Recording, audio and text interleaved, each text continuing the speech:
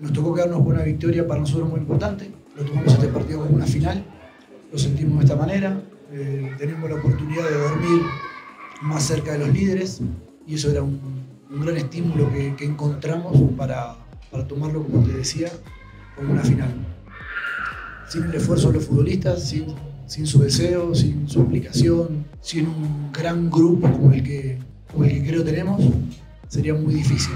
Estamos en una buena dinámica, queremos soñar despiertos, queremos seguir creciendo como, como grupo, queremos seguir creciendo como equipo el equipo se reencontró con muchas cosas buenas que por el momento perdió y por eso se dio cambio de entrenador, pero que sí había podido producir momentos del primer semestre del año.